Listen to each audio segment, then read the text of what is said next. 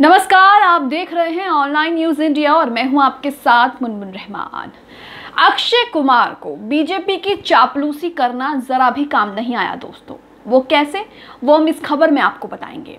हमेशा बीजेपी सरकार की हाँ में हाँ मिलाते रहे हैं अक्षय कुमार और इसलिए लोग उन्हें बीजेपी समर्थक और मोदी भक्त के जैसे टाइटल टाइटल और नामों से बुलाते आए हैं। इसमें कोई दोहराई नहीं है कि अक्षय कुमार मोदी सरकार का समर्थन करते हैं, खुलकर समर्थन करते आए हैं। तभी तो उन्हें 2014 के बाद से महँगाई और बढ़ते दाम, पेट्रोल के और तमाम चीज़ों के बढ़ते दाम, आसमान छूते दाम नहीं दिखते हैं, नहीं नज़र आते हैं। दिखता है तो सिर्फ़ मोदी सरकार का विकास, जो कि असल में कुछ है ही नहीं। अक्षय कुमार को लगता है कि बीजेपी की वो चापलूसी करेंगे और उनका काम ऐसे चलता रहेगा, लेकिन नहीं। अक्षय कुमार को बीजेपी की चापलूसी करना भारी पड़ गया है। बीजेपी के नेता अक्षय कुमार पर, अक्षय कुमार की फ़िल्म राम सेतु को लेकर के केस दर्ज कर सकते हैं। खबर आपको बताते हैं, पूरा विवाद क्या है? जागरण की खबर है, खबर में लिखा है, अक्षय कुमार की फ़िल्म राम सेतु रिलीज़ से पहले ही विवादों में फंस गई है। बीजेपी नेता और सांसद सुब्रमण्यम स्वामी ने ट्वीट कर बताया कि फ़िल्म में गलत तथ्य दिखाने के लिए केस दर्ज करने वाले हैं। तो देखा आपने, अक्षय कुमार जो मोदी सरकार का खुलकर समर्थन करते आए हैं, खुलकर उनके, उनको लेकर बोलते आए हैं, इसी इसी को लेकर के जो लोग हैं, वो भी कहते हैं कि अक्षय कुमार मोदी समर्थक है, मोदी भक्त है। लेकिन फिर भी ये चापलूसी करना उनका काम नहीं आया, क्योंकि उनकी फ़िल्म उनकी फ़िल्म अब विवादों में फंसती नज़र आ रही है। एक के बाद एक फ़िल्म वो रिलीज़ कर रहे हैं और एक के बाद एक नया विवाद खड़ा हो रहा है। कभी पृथ्वीराज को लेकर के, कभी राम सेतु को लेकर के और राम सेतु को लेकर के अब बीजेपी के नेता ही अक्षय कुमार को आँख दिखाने लगे हैं।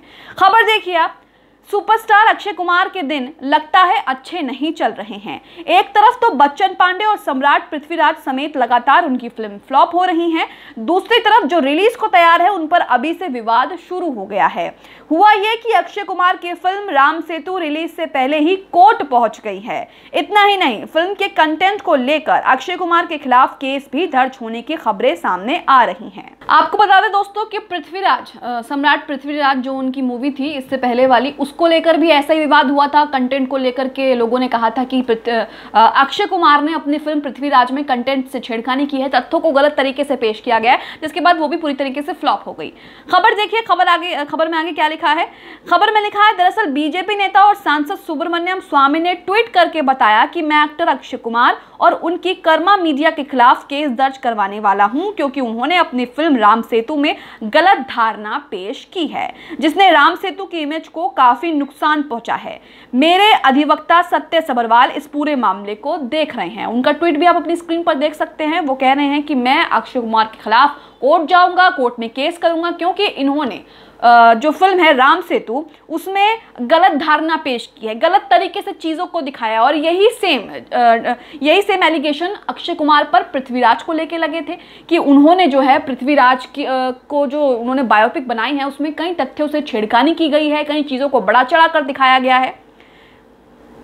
खबर में आगे लिखा है कि बता दें इस साल के अप्रैल महीने में राम सेतु का एक पोस्टर रिलीज़ हुआ था इस पोस्ट में अक्षय कुमार और जैकलीन कुछ खोजते नज़र आए थे। इनके साथ सत्य सत्यदेव भी थे। पोस्ट से अंदाज़ा हुआ कि ये तीनों किसी गुफा में पहुँचे हैं और मशाल जलाकर कुछ खोजने की कोशिश कर रहे हैं। हालाँकि अक्षय कुमार इस पोस्ट के बाद बुरी तरह से ट्रोल हुए।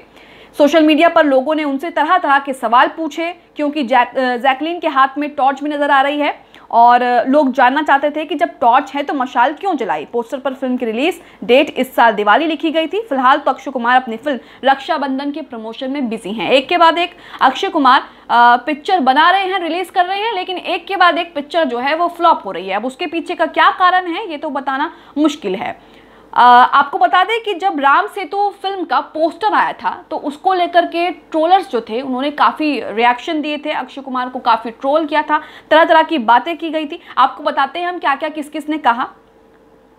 खबर देखिए ये, लिखा है क्यों ट्रोल हुए अक्षय कुमार? लिखा है, आप कोई चीज़ जो वायरल हो और ट्रोल्स का कोई रिएक्शन ना आए, ऐसा तो हो नहीं सकता। ट्रोल्स को अक्षय कुमार के इस पोस्टर से आपत्ति हो गई। राम सेतु के पोस्टर से आपत्ति हो गई। लोगों को इस पोस्टर का लॉजिक समझ नहीं आ रहा। यूज़र्स का कहना है कि क्यों अक्षय ने मशाल पकड़ी है, जबकि जैकलिन की तरह आसानी से टॉर्च का इस्तेमाल किया जा सकता है। इस पोस्टर पर लोग चुटकी ले रहे हैं। यूज़र ने लिखा जैकलिन के पास बैटरी से ऑपरेटर होने वाला टॉर्च है। तब भी अक्षय मशाल लेकर चल रहे हैं। ये तस्वीर डायरेक्शन की बारीकियों को बताती हैं। दूसरा एक शख्स इसी पोस्टर को लेकर चुटकी लेते हुए लिखता है। सिर्फ़ बॉलीवुड में ऐसा देखा जा सकता है, जहाँ एक एक्टर के हाथ में मशाल है और दूसरे के पास बैटरी वाला टॉर्च है। वो भी एक ही फ्रेम में। Rip logic. Ram Setu film इस साल दिवाली के मौके पर सिनेमाघरों में रिलीज़ होगी। मूवी में अक्षय कुमार के साथ जैकलिन फर्नांडिस, नुसरत बरूचा नज़र आएँगी। अक्षय कुमार की पृथ्वीराज भी पाइपलाइन में है। फ़िल्म राम सेतु रिलीज़ से पहले जिस तरह ट्रोल हो रही है, देखना यह होगा कि रिलीज़ के बाद इस सीन को लेकर लोगों का रिएक्शन क्या बदलता है। पहले पोस्टर आया, उसके बाद लोगों ने पोस्टर की खिल्ली उड़ानी शुरू कर दी। लोगों ने कहा कि इसमें जो है लॉजिक पूरी तरीके से मर चुका है, कोई लॉजिक इसमें नज़र नहीं आ रहा है। और अब जो बीजेपी के नेता हैं, सुब्रमण्यम स्वामी, सांसद हैं बीजेपी से, वो कह रहे हैं कि मैं अक्षय कुमार के खिलाफ कोर्ट में केस करूँगा क्योंकि वो चीज़ों को गलत तरीके से पेश कर रहे हैं। फ़िल्म में आखिरकार अक्षय कुमार पर एक के बाद एक ही आरोप क्यों लग रहे हैं? पृथ्वीराज पृथ्वीराज फ़िल्म को लेकर भी इसी तरह के आरोप लगे थे कि उन्होंने छेड़खानी की है तथ्यों से। यूज़र्स ने कई लोगों ने दावा किया था ट्विटर पर सोशल मीडिया पर कि पृथ्वीराज मूवी में अक्षय कुमार ने कई चीज़ों को बड़ा चढ़ाकर दिखाया, बल्कि ऐसा कुछ है ही नहीं। हम आपको एक बार बता देते हैं कि पृथ्वीराज को लेकर क्या क्या विवाद हुआ था? किस किस तरह किस किस तरह की चुनौतियाँ पृथ्वीराज ने झेली थी? हम आपको एक बार बता देते हैं। आपको बताते हैं कि पृथ्वीराज को लेकर के किस तरीके के बयानबाजी हुई थी। पृथ्वीराज को दिल्ली हाई कोर्ट का रुख भी करना पड़ा फ़िल्म को, जिसके बाद उसका टाइटल चेंज कर दिया गया। इसमें गुर्जर समुदाय का दावा था कि पृथ्वीराज सम्राट पृथ्वीराज चौहान जो थे, वो गुर्जर समुदाय के थे, बल्कि इसको लेकर के जो फ़िल्म मेकर हैं, पृथ्वीराज के, उन्होंने बिल्कुल खंडन कर दिया था। जब बात ज़्यादा बढ़ गई तो मेकर्स को नाम चेंज करना पड़ा, सिर्फ़ पृथ्वीराज कर दिया, सम्राट हटा करके। ये खबर देखिए करनी सेना ने की फ़िल्म का टाइटल बदलने की मांग। करनी सेना और गुर्जर समुदाय दोनों सामने सामने आ गए थे और दोनों का दावा था कि नहीं वो हमारे समुदाय से हैं और दूसरा कहता कि नहीं वो हमारे समुदाय से हैं। दूसरी तरफ़ करनी सेना जो राजपूत समुदाय का प्रतिनिधित्व करती है उन्होंने मेकर्स के सामने ये आ, मांग रखी कि फ़िल्म पृथ्वीराज का टाइटल बदला जाए। करनी सेना ने मेकर्स को धमकी दी थी कि अगर फ़िल्म का टाइटल सम्राट पृथ्वीराज नहीं किया गया तो वो फ़िल्म की रिलीज़ का विरोध करेंगे। हालाँकि करनी सेना की इस धमकी के बाद फ़िल्म के मेकर्स ने अक्षय कुमार की पृथ्वीराज का नाम बदलकर सम्राट पृथ्वीराज करना पड़ा।